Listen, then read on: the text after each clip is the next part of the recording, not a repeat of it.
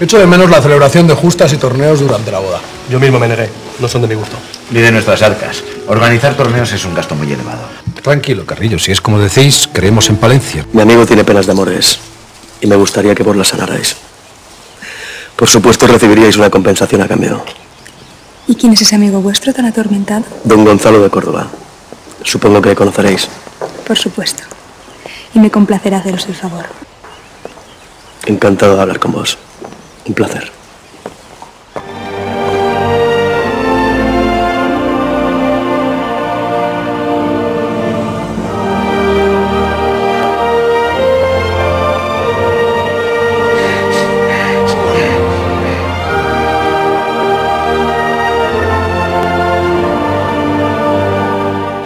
Buenas tardes. Hola. Eh, ¿Tienes piruletas?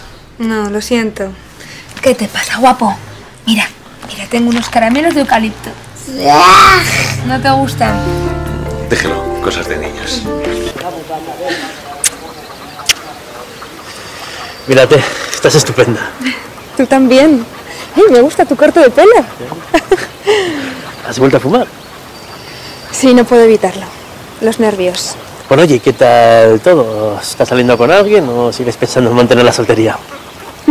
Yo, bueno, sí, estuve saliendo con alguien, pero lo dejamos.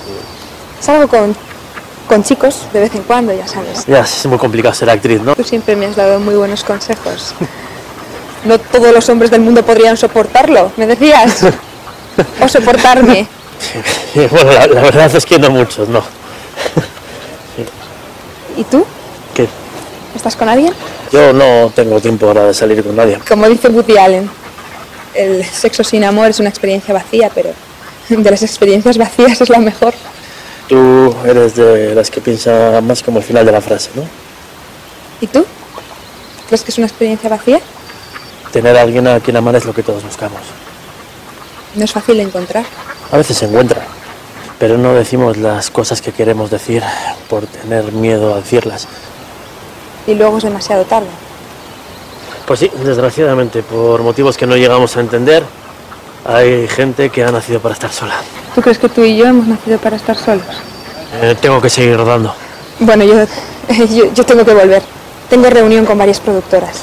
No tenemos tiempo ya ni de fumar un cigarro, ¿eh? ¿Qué, qué nos ha pasado? Pues como a todos, ¿no? El tiempo, la distancia. A veces no decimos nada cuando tenemos tanto que decir. Y a veces hablamos mucho y no decimos nada. Bueno, ahora ambos tenemos que irnos.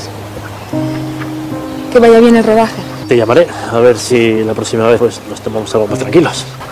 por supuesto. Para eso somos amigos, ¿verdad? Sí, claro que somos amigos.